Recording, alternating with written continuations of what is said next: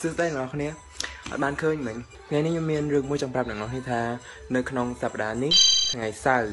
ត្រូវជាថ្ងៃទី24ខែតុលាខ្ញុំនឹងទៅថត promote ឲ្យ charity concert មួយឈ្មោះថា The Glorious I mean